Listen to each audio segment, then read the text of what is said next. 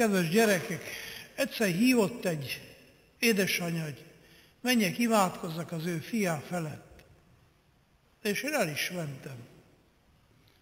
És nagyon-nagyon megrázó volt.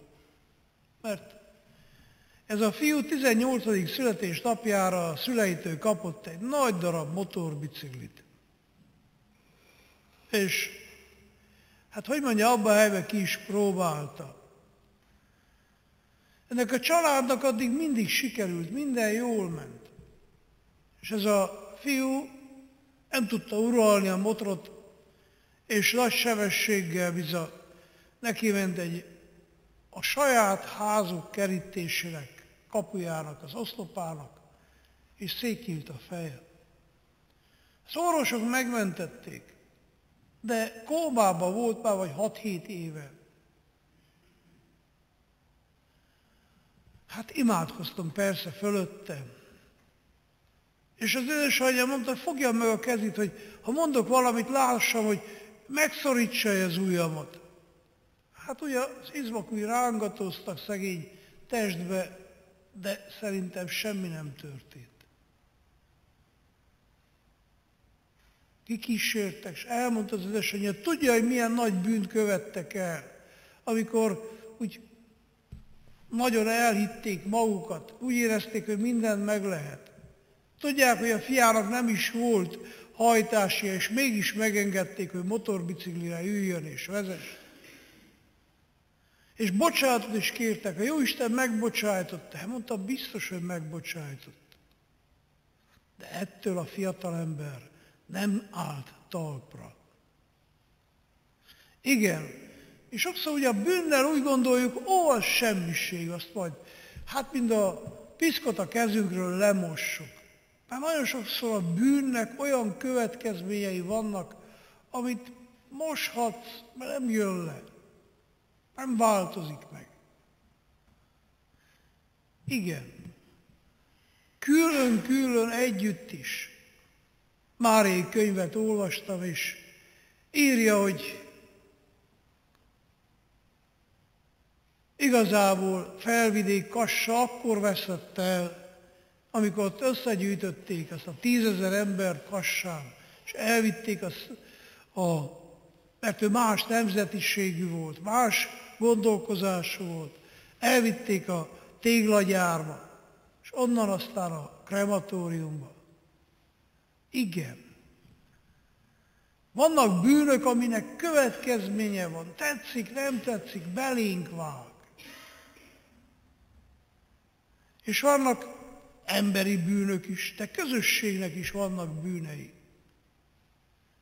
Romániában is. Szegény édesapámat letartóztatták, verseket írt, és tényleg elítélték, meghalt. Öt éves koromtól árván nőttem fel. És most ezelőtt két hónappal, hát úgy gondolták, hogy hát mivel ilyen rehabilitálták, de mivel, hogy ez volt a sorsom, adnak nyugdíjt. És most én is, és a húgom is kapunk egy összeget minden hónapban, hogy ne haragudjunk. Persze nem haragszok én senkire, de ettől nem támad fel édesapám. Az én gyerekkorom ettől függetlenül sebzett volt. Apám nélkül telt el. A bűnnek a súlyát kellene átérjük ahhoz, hogy, hogy, hogy rádöbbenjünk arra, hogy nem szabad kacérkodni, játszani a bűnnel.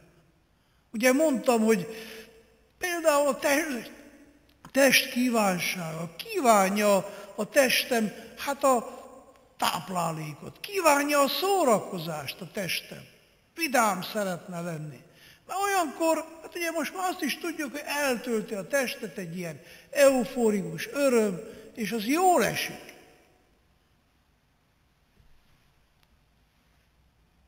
Volt egy, nagyon rég volt, a gyerekünk nem is ismertétek. Az anyukája utcanő volt. Hogy hogy lett utcanő, nem tudom pontosan. Szépecske lehetett valamikor. Nagyon szerette a fiát.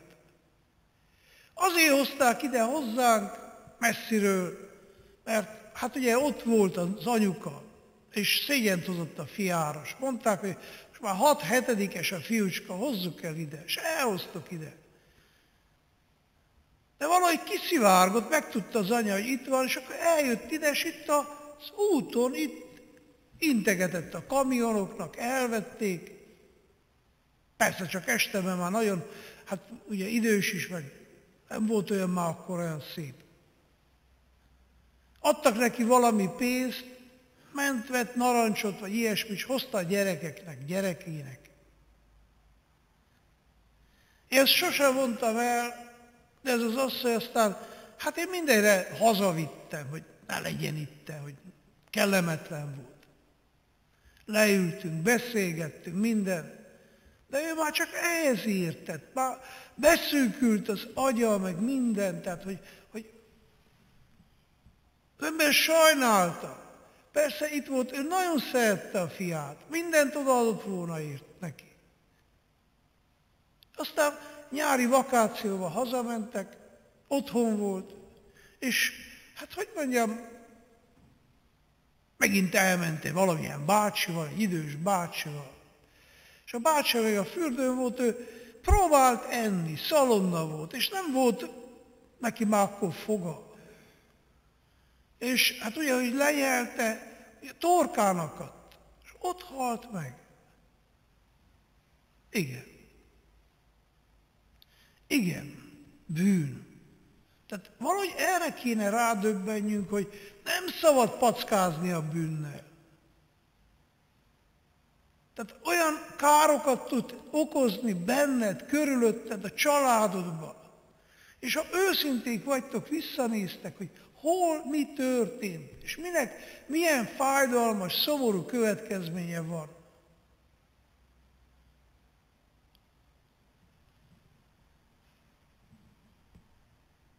Táplálkozás, ha nem normális, akár anorexiás lehetsz, az is egy betegség, akár túlsúlyos lehetsz. Amerikában, amikor voltam, olyan kövér emberek vannak, amit szinte el sem tudunk képzelni. De ez a jóléti társadalom náluk már rég tart. Hozzánk csak most gyűrözött be.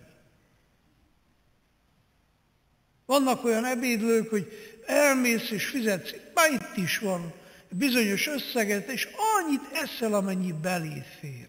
És az ember nézi, hogy hát nálunk itt egy hat gyereknek az asztalára nem rakok olyan tányért, akkor a tál ételt ki, mint ő egyedül magának kirak és dugja bele a szájába. De nem egy széken ül, hanem kettőn. És még mindig nyomja magába. Mohóság. Test kívánsága. Nem tud parancsolni magának. Mi lesz a vége? Hát az orvosok tudnak rajta segíteni, akkor jó, hogyha nem fiatalon meghal. Igen, bűn. A bűn az nem játék, a bűn az nem jó pofa, a bűn az nem izgalmas. Simon Wells egy eh, nagyon híres francia író írta, hogy az elképzelt rossz nagyon izgalmas, érdekes. Az elképzelt jó, az szürke, uralmas, nem sokat jelent. De a megélt rossz, az kilúgoz, kiéged, összetör. A megélt jó, az izgalmas, érdekes, gyönyörű. Igen. Próbáljuk megélni. Az, hogy jó tanuló vagyok, hogy teljesítem a kötelességemet, hogy Szót fogadok, jó vagyok, éljen meg. És akkor kezdek jönni a jó jegyek, kezdek dicsérni, ügyes vagyok, előadásokra megyek, szerepelek. És meglátod, hogy mennyire jó, jónak lenni. De ugye gyerekek közül is tudtok ti mondani olyant, aki nem akar, tanulni, nem akart szót fogad, nem akart semmit csinálni. És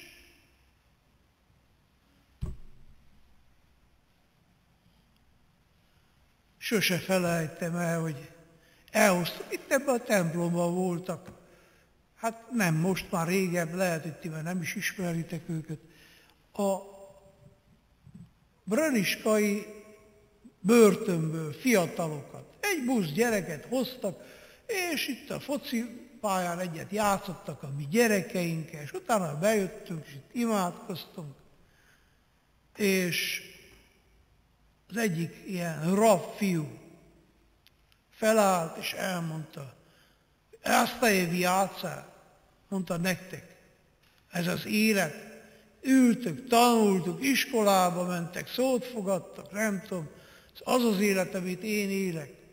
És elmondta, hogy Hát ő bizony feltör egy, egy autót, akkor menjen. Van játék, vannak lányok, minden. Itt, pedig itt volt a börtön igazgató is. Azt hiszem hét hónapra volt lecsukva, mert feltört egy autót. Aztán kiszabadult, teltek, múltak az évek, de még mindig nem volt 18 éves. És puszta kalánon barátaival, hát ugyanígy bulisztak. Kef.